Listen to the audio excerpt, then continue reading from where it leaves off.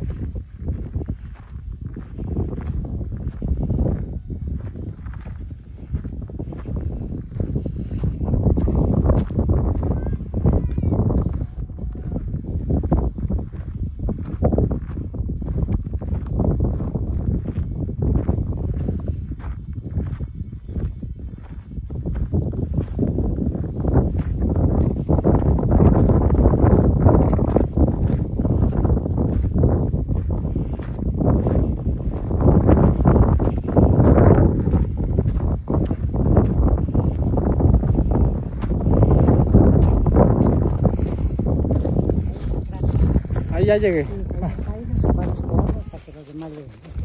Gracias.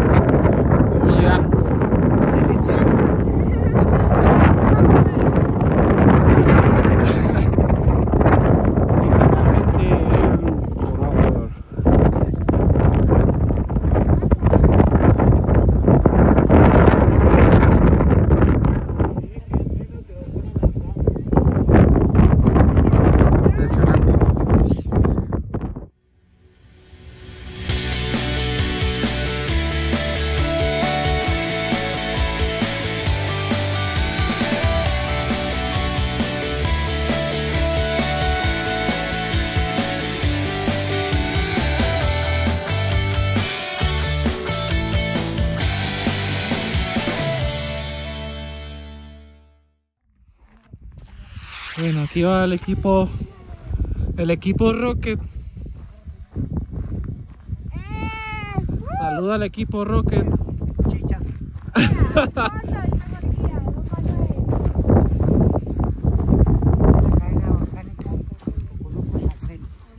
El volcán, el cráter volcán Pan de Azúcar, el que está allá arriba alto. Pan de azúcar. Y vamos arriba por donde van ellos para que observen por aquí en línea recta, ¿listo? Sí, señor.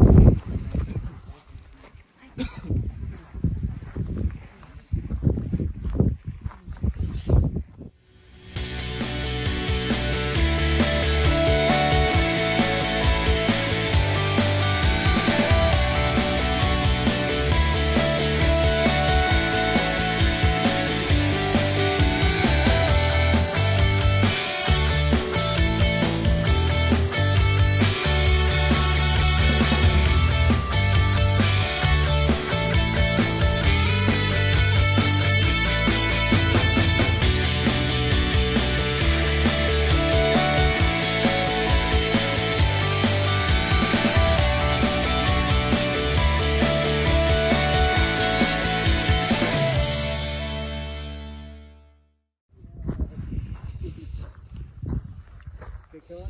Muchas gracias. tome. Espérenme aquí que voy a hacer un videito. Saludos. ¿Tienen, Mira hacia allá y hacia abajo. ¿Tienen miedo? Sí. Ah, ahora chinche. Uno no sabe por dónde es peor. Y por allá o por allá. Es más miedoso para allá. Ya, finalmente vamos bajando. Señor. No dejo un paso a la derecha porque de pronto.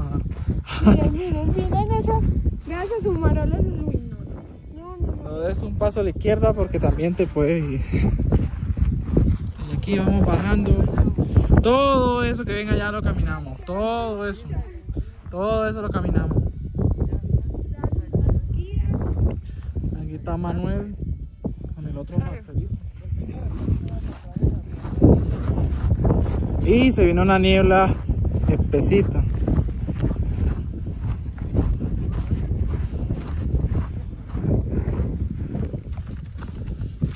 Esto es una aventura épica. Mis cruz. ¿Tus qué? Aquí vamos bajando. Una y 10 de la tarde. ¿Cuál? Estas rocas, los turistas se salvaron de morir. No, se refugiaron en las rocas. Sí. Vaya dato. Ah, caramba. Mira, Luisito. Yo soy la chuletona. Como ven, nos cayó una niebla Estamos perdidos. espesa. Una niebla espesa siente bastante el frío. Pero aquí vamos. Por si vienen, si están muy cansados, suban.